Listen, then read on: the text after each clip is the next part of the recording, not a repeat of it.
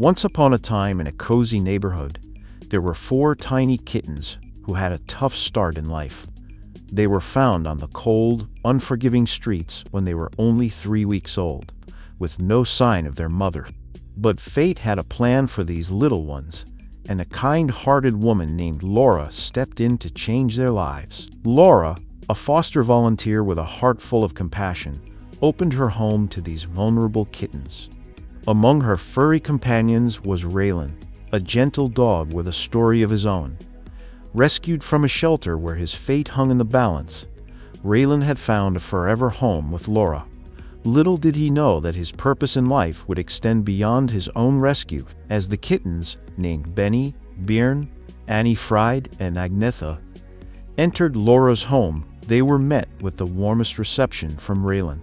At first, the kittens were shy, unsure of this new friend with a wagging tail. However, Raylan, with his nurturing instincts, quickly won them over.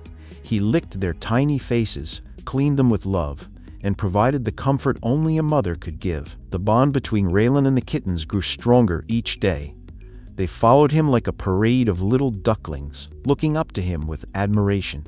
Raylan, in turn, showered them with affection, bringing them to his bed for proper baths and letting them snuggle close for naps. The kittens, once timid, transformed into bundles of joy, constantly purring and vying for Raylan's attention. Raylan became more than just a caregiver. He became their guiding light.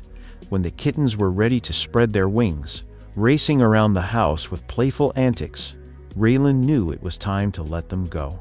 With pride in his heart, he watched as Benny, Björn, Annie Frid, and Agnetha found their forever homes, leaving a void that was both bittersweet and fulfilling. But the story didn't end there. A couple of weeks later, Raylan, ever the nurturing soul, embraced a new batch of foster kittens.